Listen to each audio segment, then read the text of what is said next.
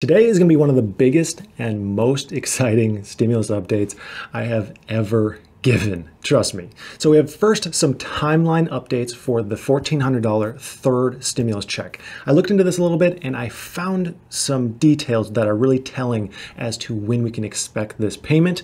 I think you're going to find that really interesting. We have some unfortunate news regarding the $600 stimulus check for those expecting to receive it on their taxes. And we have some huge channel news that directly relates to the Paycheck Protection Round 2. This is I'm not exaggerating. It's massive. So today is a great day, and it's also a great day to get two free stocks with Webull with the link in my description. All you need to do is deposit $100 and you get two free stocks. You know the deal. All right, so starting off, we're going to do bad news first and then work our way to some great news. So the IRS announced that they're going to begin accepting and processing individual tax returns on February 12th this year. Now, usually this happens mid to late January, and this two to three week delay is kind of a big issue because millions of stimulus payments are going to be tied directly to 2020 tax returns. Basically, anyone who hasn't received that $600 stimulus check and they're, they're not going to receive it in the mail or by direct, direct deposit, you're going to have to receive it on your 2020 tax return. If there's any dependent payment that's missing on your taxes, it's on your tax return. If you didn't receive the first $1,200 stimulus check, it's on your tax return, and they just announced that these returns are going to be delayed by two to three weeks. Now, the IRS is saying that this is a necessary evil for a few reasons. First, they're saying this is happening because they need all sorts of new programming in their systems because that second stimulus check came out right at the end of the year. They weren't exactly prepared for it, and they want to work out all the kinks before returns are being sent in. They're also saying that more people will file their taxes than ever before, again, likely because of the stimulus payment, because there's so many people who still need to get that payment and will have to file their taxes in order to receive it. And they're saying if they didn't delay the start date to send in tax returns, there would just be much longer delays on the back end because of glitches and technological issues. And if we know anything about the last year, the IRS has dealt with quite a few glitches and technical issues. So let's just let them work out these issues now and then hopefully, you know, I think they might be doing it right this time. Set the bar low and then just exceed the expectations. So, you know, say it's going to be delayed and then maybe pleasantly surprise everyone. Hey, That'd be that'd be an interesting way to do it. So the, the IRS is also urging everyone to file their tech, their taxes electronically this year if you're trying to get a refund as quickly as possible. If you're if you're mailing in your refund, you can expect it to take much longer this year. But here's some timeline estimates if you do file your taxes electronically and you haven't received that stimulus payment yet. So if you file right on the 12th of February, the first day that you'll be allowed to file electronically, you should expect your refund to be made around the 5th of March. Now, the IRS is saying that 9 out of 10 people will receive their refund within 21 days of filing electronically. That other 1 out of 10, that's going to be someone who had an issue on their tax return. Maybe there's some clarification needed. You know, there's just something going on where they're not able to process this return 100%. So 90% of people will get it fairly quickly. And if you haven't received that stimulus payment, it'll be as a part of that. And another important thing to note here is if you expect to receive an earned income tax credit or additional child tax credit, there will actually be a little bit longer of a delay. Now, this is because the IRS spends more time on the refunds with those tax credits just to make sure there's no fraud, and because there's actually a tax law that says that they need to extend the deadline a little bit longer for those specific tax returns. So if that's the case for you, if you're either getting the earned income tax credit or the child tax credit, I would allot for a few additional days to process your tax return. And here's a chart that gives some key filing dates this year for your tax return and how it relates to stimulus payments. And feel free to pause the video on this if you want to take a look at it or you need some additional information. All right, moving on. I can't wait any longer. We need to do the big channel news now.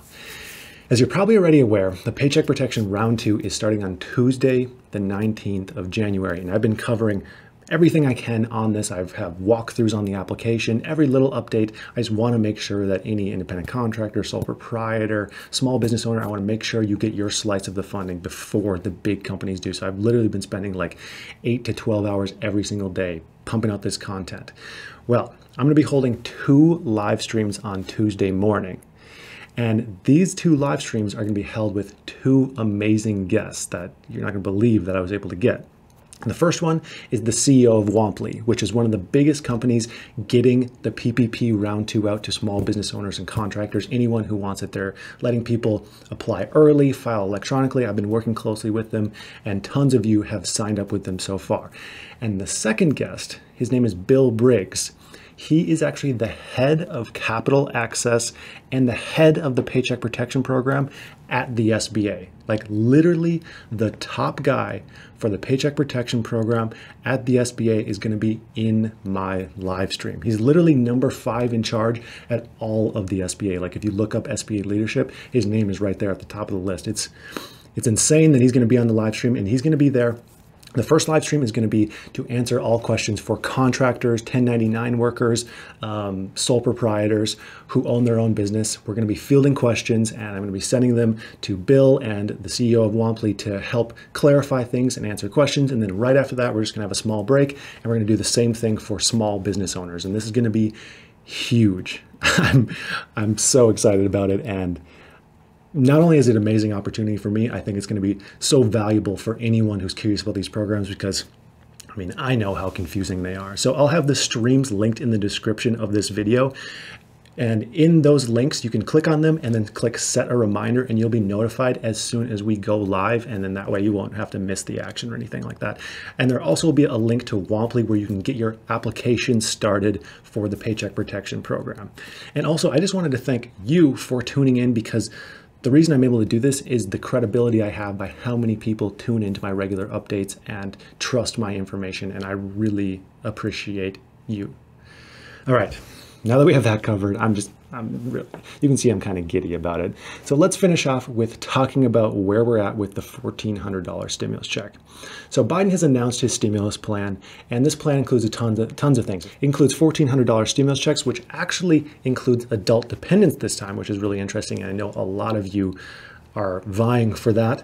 It includes unemployment boosts of $400 the end of September, enhanced tax credits, um, an increase of the minimum wage to $15 an hour, and much, much more. There's a lot of items that are covered in that. But how and when can we expect these $1,400 stimulus checks to happen? Now, the goal for Biden and Democrats is to get this bill passed sometime in February. But I took a look at this and I do not think that this is likely to happen that quickly, and here's why. It's because Biden's unemployment plan is set to start after the current unemployment boost expires. Now, the current one expires on March 14th. Let me know if you if you see what I'm getting at here.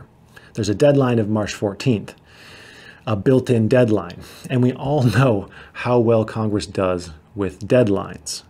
So more realistically, I think this is what I think is going to happen. I think we're going to see tons of debate between when Biden is inaugurated and March 14th. We're going to see nothing but debate. This bill is going to be changed probably by 40 or 50%. It will be completely different than what we're sitting at right now. And more realistically, I think we could see a bill pass sometime between March 12th, which is uh, the Friday before the expiration of unemployment boosts, and March 19th, which would be a week after the unemployment boosts expire. And I just think this is the case because literally every single deadline this year, they have either waited till the last hour to find a solution or passed it by a week or two. So I think it's much more realistic. I know it's probably not what you want to hear, but I, I would rather set the bar low and then you'd be pleasantly surprised later. And I'm not here to lie to you or to sens- sensationalize what's going to happen in the news. I'm here to just build a realistic picture of what I think is actually going to happen. So this scenario would leave us with checks sometime between the 2nd and the 10th of April.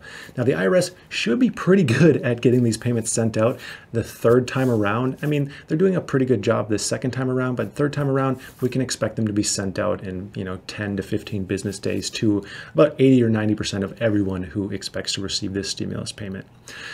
So that's my analysis of when we can likely expect these stimulus checks. And I think it's pretty accurate. I mean, what are your thoughts on this? So that's going to do it for today. I would like to thank you for watching, and I hope you have a prosperous day.